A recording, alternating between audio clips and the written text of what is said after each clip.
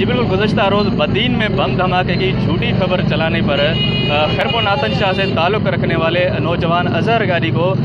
یہاں سے خرپو و ناتن شاہ کی پولیس نے گرفتار کر لیا تھا، جس کے بعد رات کے دو بجے ہتھکڑیاں لگا کر انہیں بدین منتقل کیا گیا ہے۔ اس وقت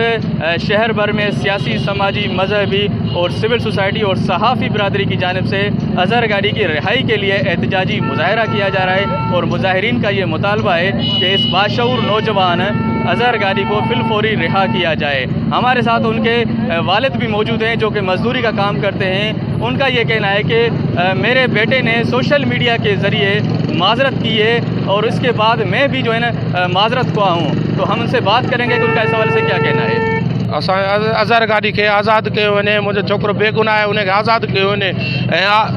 معاف کیا غلطی کیا اظہر گادی جو ہے وہ ایک اسٹوڈنٹ ہے وہ ایک طالب علم ہے اور کسی اس نے کوئی بھی غلطی ریکارڈ نہیں اس کے پاس وہ کوئی بھی کوئی بھی غلطی کی ہے معافی بھی دعوت معافی نامہ بھی لکھا ہے جی بالکل مظاہرین کا یہ مطالبہ ہے I G Sindh S S P Badin Shabbir Sethar اور چیف جسٹس آف پاکستان سے کہ خیر پور نعتن شاہ سے تعلق رکھنے والے اظہر گادی کو فی الفوری رہا کیا جائے